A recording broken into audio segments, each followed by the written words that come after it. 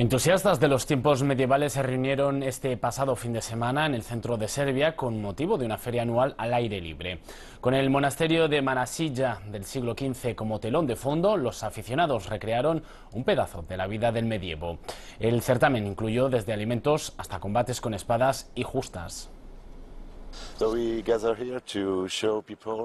Nos hemos reunido aquí para mostrarle a la gente nuestra visión de la vida en los días medievales.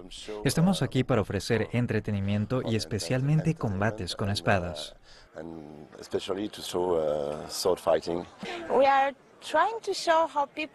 Intentamos mostrar cómo la gente vivía realmente en el siglo XIV. Recreamos la Transilvania de ese siglo. Intentamos mostrar cómo cocinaban, qué vestían y cómo bailaban cuando tenían tiempo libre. Y por supuesto, cómo luchaban cuando una guerra se cernía sobre ellos. El combate requiere habilidades considerables debido a que los competidores suelen vestir armaduras que pesan entre 50 y 60 kilos. Compiten en tres categorías, espadas, hachas y mazas. Y como no podía ser de otra forma, las mujeres también pueden participar.